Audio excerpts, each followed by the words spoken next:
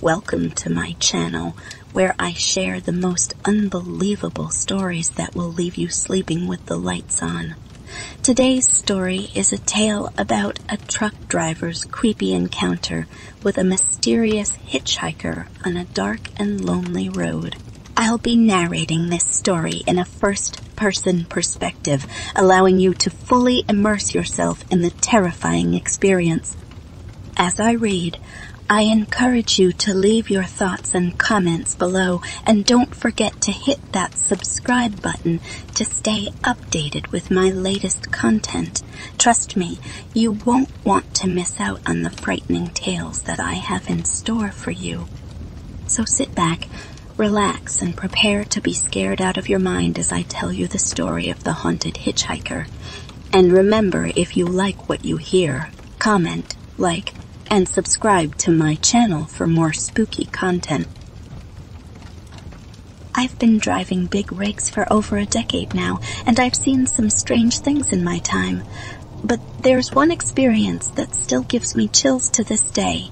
It happened on a dark and stormy night, as cliche as that sounds, and it's something that has haunted me ever since. I was driving through the middle of nowhere, just me and my rig, when I saw a figure on the side of the road.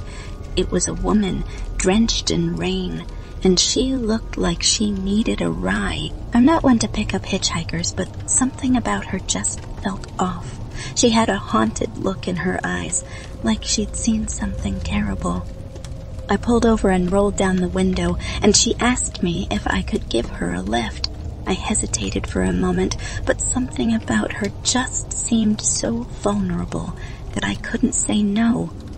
She climbed into the cab and we started driving, but there was a strange silence between us.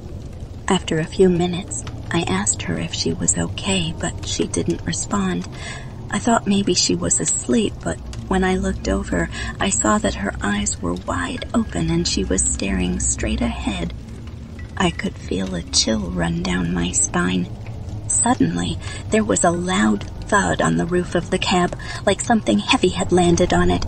I slammed on the brakes and jumped out of the truck, but there was nothing there, no sign of anything that could have caused that noise. I got back in the cab and asked the woman if she heard the noise, but she didn't respond. I turned on the headlights and saw a figure in the distance, standing in the middle of the road. It was a man, but he looked like he was made of shadows. I didn't know what to do. I felt like I was in some kind of nightmare. The woman in my cab was silent, and the man on the road just stood there staring at me. I knew I had to get out of there, so I started up the truck and hit the gas. But the man didn't move. He just stood there as I drove right through him. I could feel his icy breath on my neck, and I could see his twisted face in the rearview mirror. I knew then that I had picked up something otherworldly, something that was not meant for this world. I drove for hours, trying to get as far away from that thing as I could. When I finally stopped for gas, I looked over at the woman in my cab, but she was gone. There was no trace of her, like she had never been there at all.